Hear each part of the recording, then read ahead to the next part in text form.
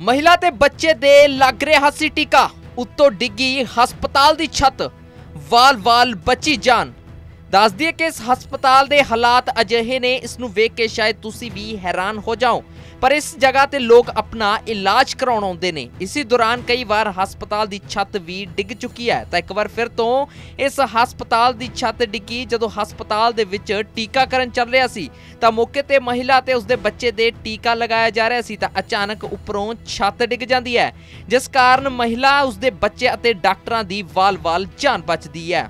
ਦੱਸ ਦਈਏ ਕਿ ਮਾਮਲਾ ਮੋਗਾ ਤੋਂ ਸਾਹਮਣੇ ਆਇਆ ਜਿੱਥੇ ਡਾਕਟਰਾਂ ਨੇ ਇਸ ਸੰਬੰਧੀ ਦੱਸਿਆ ਕਿ ਉਹਨਾਂ ਦੇ ਵੱਲੋਂ ਕਈ ਵਾਰ ਪ੍ਰਸ਼ਾਸਨ ਨੂੰ ਇਸ ਸੰਬੰਧੀ ਸ਼ਿਕਾਇਤ ਕੀਤੀ ਗਈ ਹੈ ਕਿ ਉਹ ਇੱਕ ਵਾਰ ਸਾਡੇ ਹਸਪਤਾਲ ਦੇ ਹਾਲਾਤ ਆ ਕੇ ਵੇਖਣ। ਜਿਸ ਤੋਂ ਬਾਅਦ ਪ੍ਰਸ਼ਾਸਨ ਦੇ ਵੱਲੋਂ 10 ਲੱਖ ਰੁਪਏ ਦੀ ਗ੍ਰਾਂਟ ਪਾਸ ਹੋਣ ਦਾ ਦਾਅਵਾ ਵੀ ਕੀਤਾ ਗਿਆ ਸੀ, ਪਰ ਸਾਲ ਬੀਤ ਜਾਣ ਤੋਂ ਬਾਅਦ ਵੀ ਉਹਨਾਂ ਦੇ ਕੋਲ ਗ੍ਰਾਂਟ ਦਾ 1 ਰੁਪਈਆ ਤੱਕ ਨਹੀਂ ਆਇਆ ਤੇ ਹਸਪਤਾਲ ਦੇ ਹਾਲਾਤ ਉਵੇਂ ਦੇ ਉਵੇਂ ਬਣੇ ਹੋਏ ਨੇ, ਤਾਂ ਉਹਨਾਂ ਦੇ ਵੱਲੋਂ ਕਿਹਾ ਗਿਆ ਕਿ ਹਸਪਤਾਲ ਦੀ ਮੁਰੰਮਤ ਦੇ ਲਈ ਗ੍ਰਾਂਟ ਹੈ ਜਿਹੜੀ ਉਹ ਮੁਹੱਈਆ ਕਰਾਈ ਜਾਵੇ।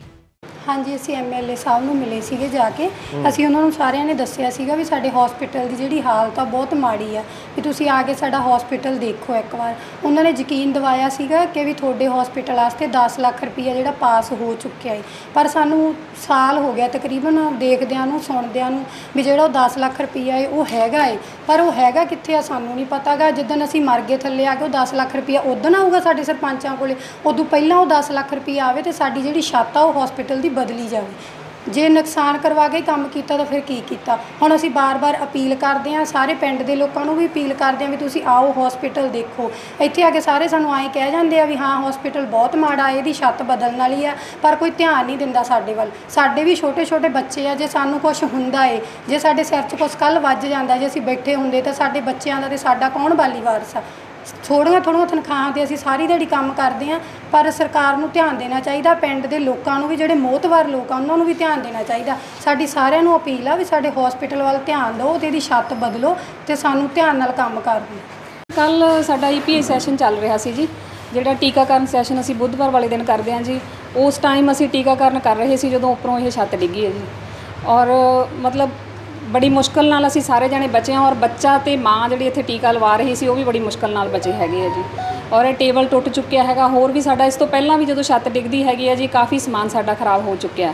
ਅਸੀਂ ਬਾਰ-ਬਾਰ ਮਤਲਬ ਸਰਕਾਰ ਦੇ ਜਿਹੜੇ ਨੁਮਾਇੰਦੇ ਐਮਐਲਏ ਸਾਹਿਬ ਨੂੰ ਵੀ ਸਾਰੇ ਮਿਲ ਕੇ ਆਏ ਆ ਔਰ ਹੁਣ ਤੋਂ ਮਤਲਬ ਤਕਰੀਬਨ ਡੇਢ ਪੌਣੇ 2 ਸਾਲ ਪਹਿਲਾਂ ਵੀ ਅਸੀਂ ਉਹਨਾਂ ਦੇ ਧਿਆਨ ਦੇ ਵਿੱਚ ਸਾਰੀ ਗੱਲ ਲਿਆਂਦੀ ਸੀ। ਅਸੀਂ ਉਹਨਾਂ ਨੂੰ ਕਿਹਾ ਸੀ ਵੀ ਇੱਕ ਵਾਰ ਤੁਸੀਂ ਵਿਜ਼ਿਟ ਕਰਕੇ ਆਓ, ਹਸਪੀਟਲ ਦੇਖ ਕੇ ਆਓ ਵੀ ਕਿੰਨੀ ਅਸੀਂ ਮਤਲਬ ਬੁਰੇ ਹਾਲਾਤਾਂ ਦੇ ਵਿੱਚ ਉੱਥੇ ਡਿਊਟੀਆਂ ਕਰ ਰਹੇ ਹਾਂਗੇ।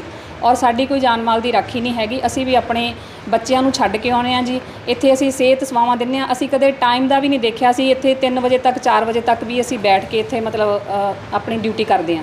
2 ਵਜੇ ਤੱਕ ਸਾਡਾ ਟਾਈਮ ਅਸੀਂ 4 ਵਜੇ ਤੱਕ ਵੀ ਬੈਠ ਕੇ ਕਰਦੇ ਆ। ਇਸ ਤੋਂ ਪਹਿਲਾਂ ਜੇਈ ਸਾਹਿਬ ਸੀਗੇ ਸਾਨੂੰ ਬਾਰ-ਬਾਰ ਮਤਲਬ ਇੱਥੋਂ ਦੇ ਸਾਡੇ ਅੰਕਲ ਸੀਗੇ, ਕੈਸ਼ੀਅਰ ਅੰਕਲ।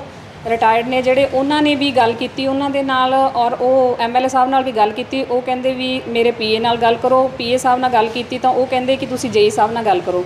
ਉਹ ਕਹਿੰਦੇ 10 ਲੱਖ ਰੁਪਇਆ ਗ੍ਰਾਂਟ ਜਿਹੜਾ ਜਾਰੀ ਹੋ ਚੁੱਕੀ ਹੈ ਇੱਥੋਂ। ਪਰ ਸਾਨੂੰ ਨਹੀਂ ਪਤਾ ਜੀ ਗ੍ਰਾਂਟ ਜਾਰੀ ਹੈ ਜਾਂ ਨਹੀਂ ਹੈ, ਪਰ ਸਾਡੀ ਮਤਲਬ ਸੇਫਟੀ ਲਈ ਕੋਈ ਉਪਰਾਲਾ ਕੀਤਾ ਜਾਵੇ ਜੀ ਤਾਂ ਕਿ ਅਸੀਂ ਸੇਫ ਆਪਣੀ ਡਿਊਟੀ ਕਰ ਸਕੀਏ ਔਰ ਕਮਿਊਨਿਟੀ ਵੀ ਸੇਫ ਰਵੇ ਇਸ ਚੀਜ਼ ਨਾਲ।